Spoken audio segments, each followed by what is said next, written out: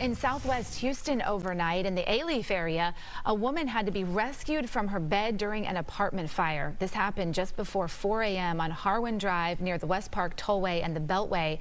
At last check, she was in critical condition. Two cats also rescued. What started that fire is now under investigation.